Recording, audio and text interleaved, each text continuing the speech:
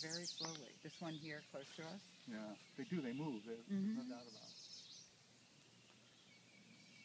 She, know, she when she if she had the time and she could stick to it, she could. Yeah, she could do some very, very good Yeah. stuff. But you know, this place is made for people like her, and so Mm-hmm. you only get these chances so seldom. Even Nancy is well no, She has only been here twice. Wow. You know, and it's Yeah. so it's a kind of they all great thing to be able to do this.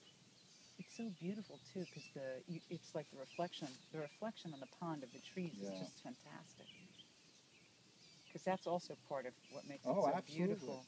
What I like about it is it, it kind of it's kind of almost camouflage. You come out Yeah. and then you see it, Yeah, yeah.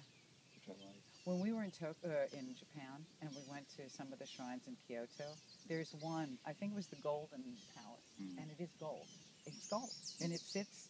You just sort of the park opens up, and there's this huge pond, and on the other side of the pond is this golden pagoda, and everything is. It's like the reflection of the gold and the water and the, and of course the water is all a water garden too, Yeah. and then there are gardens all around. it. It's but it's all Japanese, and it's just mind-boggling. Well, the Japanese are the people that really have done the most from historically to connect nature. nature to art. and every you know nature and art are to them inextricable.